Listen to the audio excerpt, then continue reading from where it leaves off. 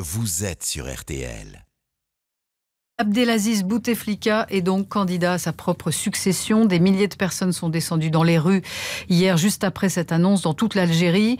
La promesse d'un cinquième mandat qu'il s'est engagé lui-même à abréger n'a pas désamorcé les protestataires, d'autant que Bouteflika, 82 ans, est soigné à Genève et que son état de santé, Béatrice Adjadj, est finalement le secret le mieux gardé de l'Algérie. Ah bah, au point qu'il n'a pas été capable de venir lui-même à Alger déposer son dossier de candidature hier, puisqu'il est toujours hospitalisé à Genève. Depuis son accident vasculaire cérébral en 2013 d'ailleurs, où il était resté alité 80 jours à Paris au Val-de-Grâce. Abdelaziz Bouteflika est sur un fauteuil roulant dans ses rares apparitions publiques, 5 environ en 7 ans. Son regard est vide, ses mains peuvent à peine bouger, sa voix difficilement audible. Écoutez-le le 4 mars 2014 quand il dépose sa candidature pour la quatrième fois à la présidentielle.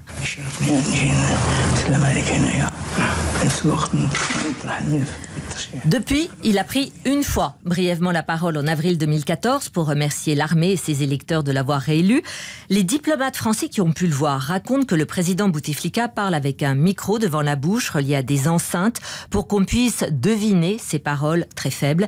Et encore, il s'agit surtout d'un monologue sur l'histoire. D'autres témoignages racontent qu'il ne peut soutenir son attention plus de 30 minutes de suite. Le code électoral prévoit que le candidat à la présidentielle doit déposer un certificat médical pour attester de sa bonne santé. Son hospitalisation prouve une fois de plus que ce n'est pas le cas.